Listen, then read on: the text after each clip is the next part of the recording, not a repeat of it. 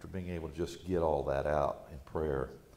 And you know, if we'd start every service that way, I think our church would just bloom out. I really do. Christian, I just want to say this from your pastor. Um, I love you. I'm praying for you and your family. I know you're praying for us. And uh, don't panic. Don't, don't do anything, um, you know, rash or rude or ugly. Uh, you know, that's not the Christian's tactics, and let's not lower ourselves to any of these tactics. Uh, you know, baiting us, uh, wanting us to come back to them or retaliate. That's remember who we are. Remember who we represent. And I know we all feel a little bit ugly. We feel like we've been beat up, and uh, rightfully so.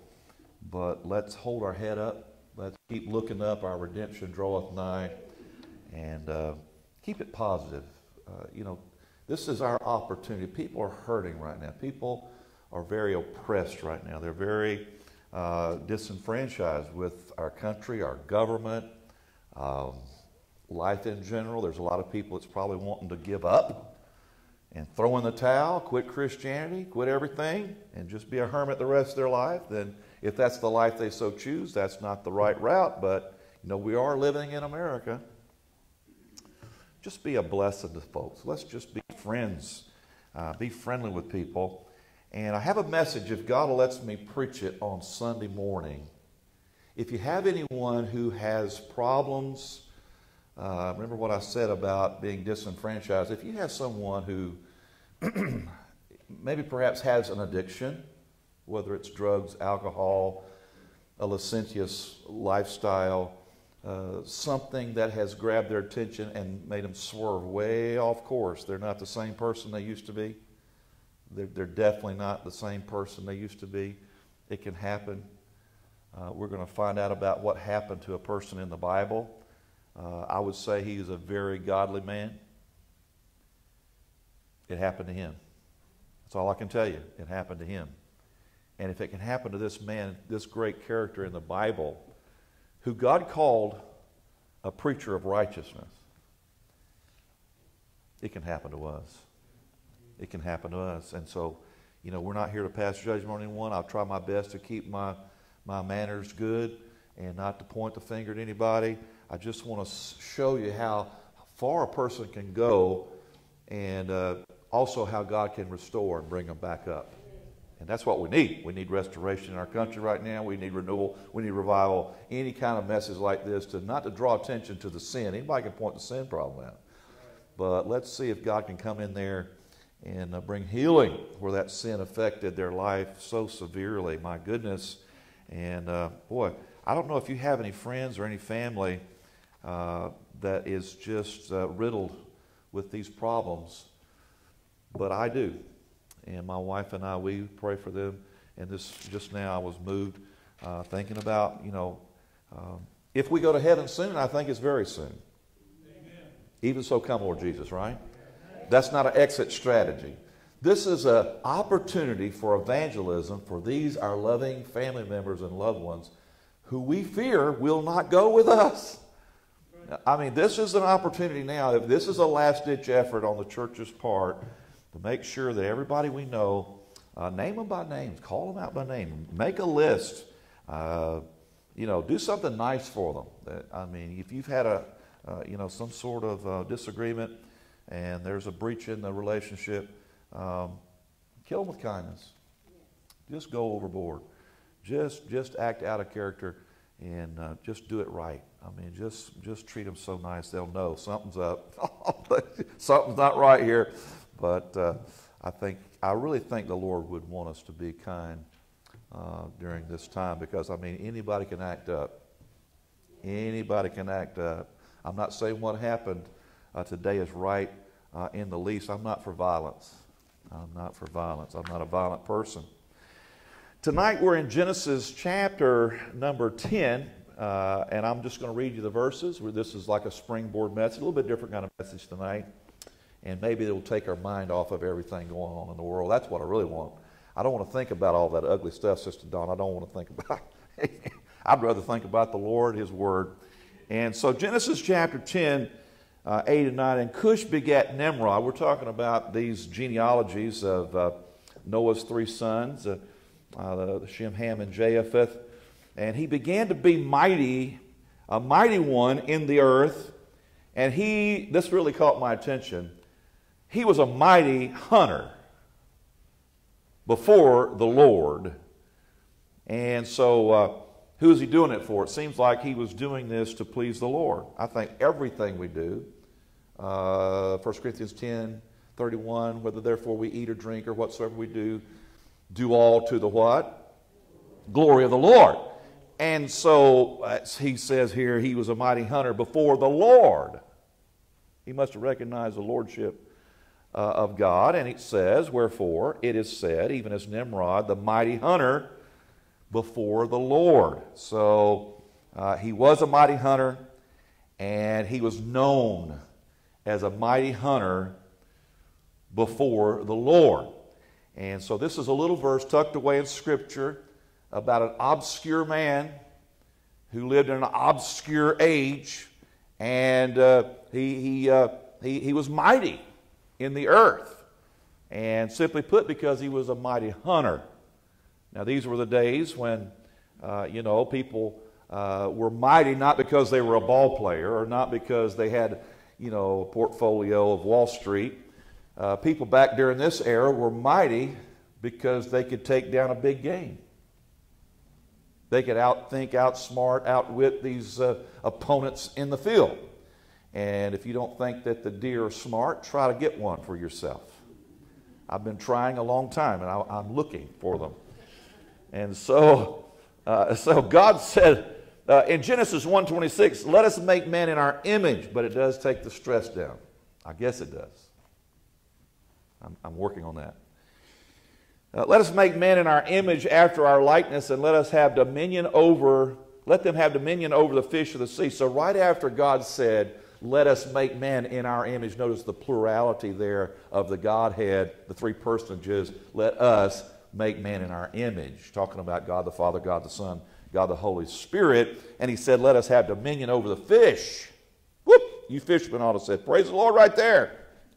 Let us have dominion over the fish of the sea and over the fowl of the air and over the cattle and over all the earth and all the every creeping thing that creepeth upon the earth. So right after God said, let us make man in our image, he basically said, man is going to have enough to eat. I'm going to teach them how to provide for themselves through all of these creatures on the earth. are here for them to enjoy. Be fruitful and multiply, Genesis 1.28. How many's reading through your Bible? This is where I'm getting all this. Okay, a few of you. Be fruitful and multiply and replenish the earth and subdue it and have dominion. That's not the voting machine right there. Over the fish of the sea. I did have to bring something up political tonight. I had to get you to laugh a little bit. Is it okay to laugh? You know, a merry heart doeth good, like a medicine. Sister uh, Marie uh, Hornsby would tell us that now, wouldn't she? And she would cackle and she would laugh and she, she just she would bounce in this place looking like she'd come off of Fifth Avenue, and she'd have her hair done. I don't care what time of the day or night you saw her, she was she was fixed. Amen. She was there, and uh, we don't know how she did it, but uh, what a personality is all I can tell you. What a personality! And so uh, God said He wanted us to take dominion over the fish, over the fowl, over every living thing that moveth upon the earth. Genesis 1:28. In other words, God made this earth for us. He wanted us to be in charge. He wanted us to take dominion. He wanted us to be the authority. And so I see that this man by the name of Nimrod, I want to entitle tonight's message, The Mighty Hunter. Number one, I see, so God, the very time that He made man in his image. Think on this now. Just afterwards, he made him with instructions of how to feed himself. Is that not good? I mean, he built a Bonanza steakhouse. I mean, really. He said, over the cattle. I got that, didn't you? I mean, I'm not a vegetarian. I am not a vegetarian. I find T bone steaks right there in that passage. I see sirloin on the pages of the Word of God. Hallelujah. Somebody ought to have a fit in here tonight. Somebody ought to shout the victory over that. You know why? I mean, life's too short to be dull and boring. Life is too short to eat a, a, a, sweet pea all your life. You know what I'm saying? I mean, look, I mean, we, we're down here. God doesn't want us to go through misery. He wants to take care of us, He wants to feed us good. I think all of us are doing pretty good. Thank you, Brother Donald. I'm glad I got an amen out of Donald. That's the first amen I've had out of you. How long now? I talked about the T-bone steak. That's what it was right there, Donna. So, you know, I was thinking about all these things in lieu of being a hunter. And, uh, you know, not too long ago, I, I, was killing some deer and I was throwing away this, the rib cages of the deer and the carcass. And, you know, it came to me, God, I guess it was God, spoke to my heart and He said, You know, you're throwing away a lot of this food and this meat. I, I gave it to you. You're going to you're going to take some of it, but you're not going to take the rest of it. You don't like that part of it? And I thought about that just for a minute. I thought about what would Mimi do? All right. You know, they ate every ounce of the pig, even the, the tail, the feet, the head, everything. And don't laugh at that. When you eat, uh, what do you call this? Uh, bologna? Yep. When you eat that, I'm not going to tell you what you're eating, but it's, it's everything. So, anyway, that's another story. But I said, God, if you'll let me kill some deer, I promise you I'll keep the rib cage from now on. It's a little harder on my wife because, of course, I, you know, cut it up for her, but she's stewing this thing down. And it takes how long, Mrs. Crane? Hours and hours and hours and hours. But you won't believe this. The deer hash is second to none, and it comes off the rib cage. We were throwing out the hash. My daughter Jenny, I'm talking about Jenny. Uh, you know, she's uh, probably the most refined of all of our children. And uh, I mean, she is dignified. She's in a dignified family now. And so she married out of our family to get the dignification. And so, uh, uh, but at some, some points, uh, quite a few times, especially in the winter months, she'll call and she'll say, Mama, I'm hungry for some deer hash. Now, what is that? I'm thinking, okay, uh, that has to be back in the, the DNA, way back there when we came from Arkansas, you know, when they ate squirrels and rabbits. And oh, listen, my grandmother would give my grandfather, uh, you know, uh, the numbers of squirrel each day and rabbits to feed the entire family during the Depression. And he was such a good hunter. He would bring in everything that the woman wanted and flop it down there you know. And my wife and I, uh, we were just, uh, I'm going to say just the first few years of marriage, we'd driven back up from Orlando to Arkansas, which is a long way for Christmas. But I took, don't listen, Brother Chris, I took the whole two weeks of my vacation at Christmas. We visited with family. We went hunting and such, didn't kill anything.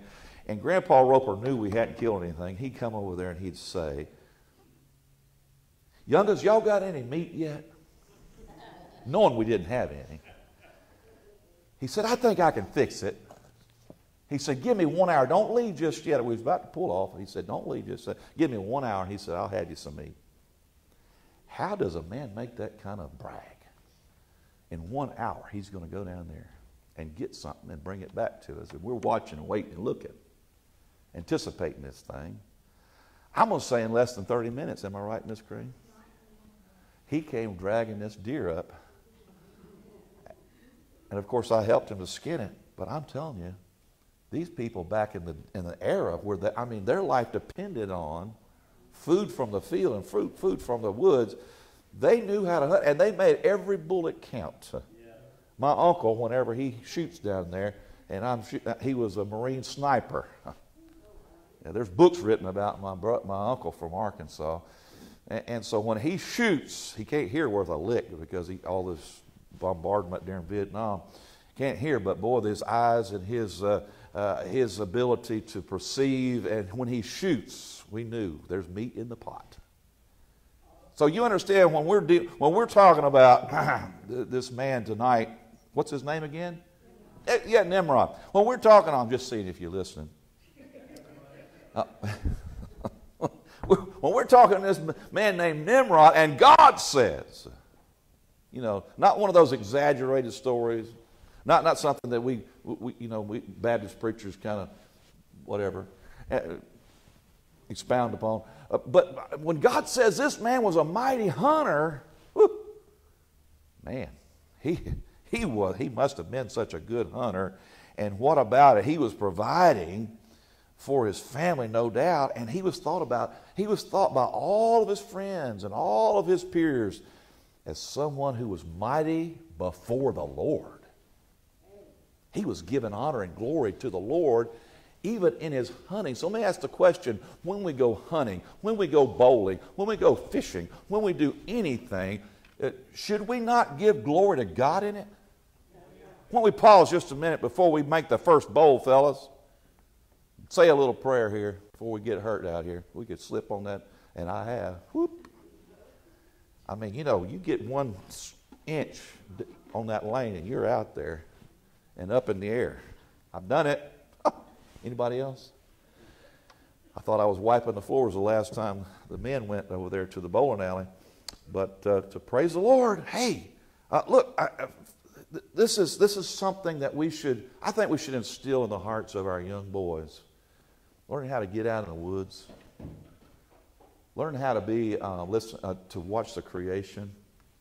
I think it teaches a lot of good disciplines it teaches how to appreciate, it teaches you how to have discipline and patience and, and a lot of virtues you're not going to get anywhere else. And then just to enjoy the beauty that God put down here on the earth. Uh, and learning how to provide for it. Look, what if we did have to go back to those days that Granddaddy and Grandma lived in? I want five squirrels this morning for breakfast. I'll put biscuits with it if you'll bring it, but if you don't, no biscuits for you. I can only imagine how she motivated. I don't know how she did it. 1 Timothy 5 and 8. But if any provide not for his own, and especially for his uh, own house, the Bible says he's denied the faith and is worse than an infidel. So God said, a person that's not providing, you know, I think we're dependent too much on what man can for us, what man can provide for us. But God says, if we're not being dependent on Him and working to achieve this goal, we have denied the faith. We're no longer with God.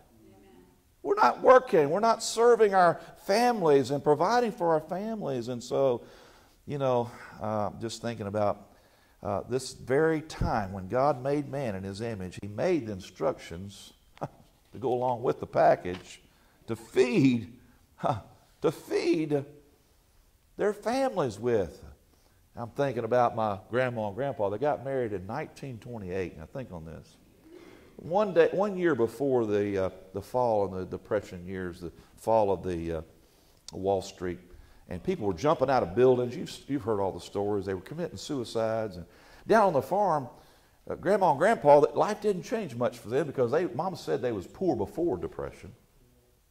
They was poor during the depression. They was poor after the depression. And, and just give you a little insight. Is it okay if we just give you some testimonies of back then? They went to the courthouse to get married. They didn't have big fancy weddings like they have now. Justice of the peace was going to marry him. But the justice came down to the car and they got married in this, uh, I don't know what kind of car it was, but it was a convertible. It must have been one of those long, large vehicles because they're not the only one that got married that day. There was two couples in the car in a convertible, and they stood up, and the justice said, You're married now in about two minutes. And that was it. He signed the papers, and they never got out of the car. They just rode off as husband and wife. It must have been good because they was married for over 60 years. Nowadays, if everything's not just going, you know, perfect, you know, they kind of forget and fudge on those oaths and think different things about uh, you know, the commitment that they made there. But that's another story, and we'll learn more about that at the marriage retreat. But hey, you know, uh, God, uh, I, am thinking about, uh, he, he put the instruction, the instruction manual was given to man on how to provide for himself. Think on that just a minute. If you put a wild animal in a cage and domesticate him, and you feed him and you pamper him and you put foo-foo powder on him and, and, and try to make him a, a, a play toy. And they, they succeed at that. I've seen many an animal that was domesticated. And then you release that animal back out in the wild, what do you have? Yeah, he cannot protect himself. He is vulnerable, and his predators will take him under. And so I think a lot of the things that is going on uh, in our country today is decade upon decade of man becoming dependent upon a government that was never intended to take care of them to begin with. It's kind of like the, those poor people on the reservation. I study that scenario a while and see uh, all of these people that are so terribly dependent. And we're talking about addiction message for Sunday, but most of them are so addicted to alcohol. It's pitiful conditions. Uh, we support the dear brother uh, to the Zuni Indians out uh, in New Mexico. Uh, and uh, Brother Josh knows him well, Brother Russell Aaron. How long were you out there, Brother Josh, helping? Six whole years. And his mom and dad moved out there to help. And uh, I'm sure you've seen a lot of this addictions that I'm talking about. And it's terrible, isn't it? And the same could be said of us. God made us to be independent. God made us to provide for ourselves. God made us to uh, you know, not, not be uh, dependent upon a government or anyone else. And, and I think the same way about me being an independent Baptist. Now, I must confess, I'm much of a. Uh, I guess I, am the uh, black sheep of the family. Both my, my dad and my grandfather were in the association. But I never wanted to be, even though my first church was in the association, I never wanted to be dependent on a group of, or an organization or association other than the Lord. I, I mean, uh, if you think about it, uh, I could have been very much dependent. I could have climbed my way up the rung of ladders, uh, like so many uh, in the, the denominations do this. Uh, and uh, I could put my name in, and the opportunities do come up at their associational meetings and when the churches are without and many of the, uh, uh, the men wait for, wait, they're very patient, but they wait for uh, the, the larger churches and the more successful churches uh, in time come open and they're dependent on this system. I've seen it, folks, firsthand. They're dependent on that and not God. When if someone would just sell out and find a city, my dad said, Son, if you're not called to start churches like me, don't do it. Don't you dare do it. He said, You find you a city, you find you a people that love God. You put your roots down. You find yourself a place that God calls you. And you just put your anchor down, put your roots down, and stay put. That's what my dad told me to do. And so that's when we have to be dependent on God because we don't have all the fringes. We don't have all the perks. We don't have any money coming from any group or association. We have to depend on the Lord. And so our dependence is on man when we are in uh, a lot of these inventions of man and uh, not of the Lord. We all know Proverbs 3 5 through 6. Trust in the Lord with all thine heart. But do we ever apply that to specifically, to specifics? Lean not unto thine own understanding. In all thy ways acknowledge him, he shall direct thy paths. He knows the way we should take, doesn't he? I love the old song. I learned it when I was a junior, uh, junior high boy junior boy uh, at camp in the summer in Pensacola. And my Lord knows the way through the wilderness. All I have to do is follow. Then I want to say Nimrod became mighty by being dependent on God and not on what man could feed him rather than but what he could find for himself. He let God help him. You know, God's ways are past our ways, which means you'll turn out a lot better if you go with God than if you went with your own understanding. I mean, even if it looks more, uh, you know, as far as uh, very uh, lucrative, uh, if it looks like it's very, very uh, much uh, good for you to do it, you better be sure God's in it. Every mistake I've ever made, I did it rashly. I got ahead of God. I got way out in front of God, and I wish a thousand times I didn't do it. But God, of course, redeems us. Uh, praise the Lord, and He brings us back to where we should be. But look, God, look, doesn't want a system in place, uh, whether it's political or religious or socio-economic, to be the reason. God doesn't want this to be the reason that for our demise, for our downfall.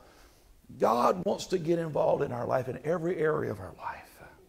The descendants of Ham, born to Cush, a great hunter, before the Lord came out of their lineage. And it's because he depended on the Lord. Everyone knew this man as someone great because he totally depended on the Lord. He didn't have a rich uncle. He didn't have, uh, you know, Abraham said, I'll not take of the spoils of Sodom because people will say that I got rich uh, from Sodom and Gomorrah. He wouldn't take a penny of it. I don't want to dime with the devil's money. How about you? And you know, uh, as bad as the depression got, people were committing suicide because they lost all. But uh, you know, those that were dependent on God, like my, my parents and other Christians during that time, they didn't lose their mind. Folks, during this time of, of chaos and during this time of uh, civil unrest, don't lose it. Don't, don't let yourself go into those areas. Don't let yourself think the worst. Don't let yourself think doomsday is here. No. The only time we're going to heaven is when God calls the number, and not until then, and we're to go on singing. Amen? And so after this terrible crash of the Depression, uh, you know, uh, my parents uh, were married in 47, and uh, they married and they were live a very simple life, very simple life. And, uh, you know, it was on the farm, and, and uh, my dad soon, uh, I think in 46, he actually attended uh, Baylor University. I could have easily been in the association, there's no doubt about that. Uh, but, uh, but God's providence, you see, God knows the way. God takes us down these paths. He uses our, our, our, our, our genealogy, He uses those that went before us. Surely they paved the trail uh, for a lot of us where we are in life and what they did. Uh, many of the things, same things they do, did, we do today because they, they made some mistakes. We don't want to have to make those same mistakes to learn the lessons that they learned. We learn from them. And we, we, we are where we are tonight. Don't you think you're here because of your own doings? You're here because of the grace of God. And you're here tonight because of godly examples that were set before you. And if you're a first uh, generation Christian here tonight, thank God for you. And just come on in. The water's fine and there's plenty of room and we need you here and we're happy for you. And Brother Joe, what you're doing with this couple up in Canada, I'm just getting bits and pieces of it. Son, that's what we're all supposed to be doing. And I went over today to try to find your dad. I just love his fellowship. I, last week we fellowship with him, or was it week before last maybe? and uh, just a, a, swell fellow. He comes and visits our church. He got saved right here, and I baptized him, and it's been so many years ago. But I'm, that's what I'm saying, uh, like like father, like son. Uh, uh like, like, like you, your children, uh, they, they may not be exactly where you want them to be now, but don't, don't move where you are because if you move, then when they do come back, you've left your place. And they're going to be so far away from where they need to be. And I will say this in closing. This is the last point. Don't, I know people shudder when I say in closing, you know, count on 25 more minutes. I'm not going to make it that long. I'm tired. I want to go home. The, the application tonight is this. Some of you love that. We, like Nimrod, we have to nurture, uh, excuse me, we have the nature to hunt things. We, we're hunters. We have that instinct. We, we want things. We, you know, and, and if you want it bad enough, you can get it. And what you emphasize, I've often said, whatever you emphasize, that's who you, you'll become, you know, uh, who you hang around, your associations uh, of people.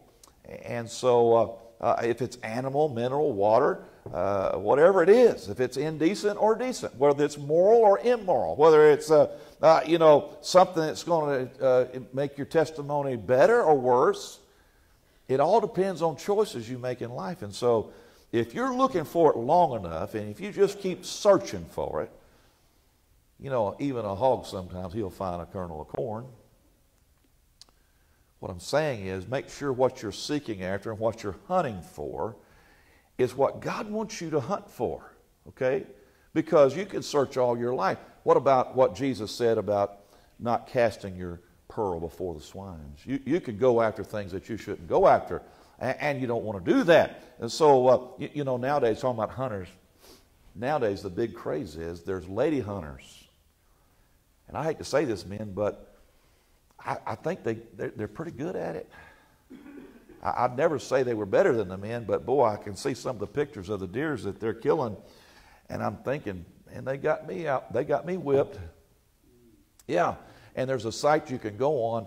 Uh, I killed it in Mississippi, and I'm watching these big old horn deer, uh, you know, uh, that these ladies are killing, and I'm thinking to myself, uh, uh, you know, I just I just can't hardly believe the size of the deer in the state of Mississippi. We've got some of the largest deer uh, herds in, uh, in the whole, uh, especially the South. And, but you wouldn't just believe what these ladies are posting that they're killing. I couldn't believe it. But, uh, uh, you know, uh, the thought is tonight what are the intents? if, if people are posting what they're killing and what they're going for, you know, there's some folks that are posting pictures with the intent to kill, but it's not the game they want. It is a game, but it's not an animal. It's another human being. And as pastor, I must be I must warn you about this. To, they're, they're, they're, they're, they're seeking to uh, use social media to draw people to themselves. If someone is, is trying to draw you to them, a person should never, a lady should never uh, dress inappropriately, or man, either, either way for that matter, to draw people's eyes or their attention uh, to themselves. No, uh, as Christians, we're to uh, point others to Jesus. So, uh, you know, the thought is tonight uh, uh, maybe these people are looking for something better, male or female. they're playing a game. They're good at it. They're experts at this game. But let me warn you when the lust runs out, hello, is anybody awake yet?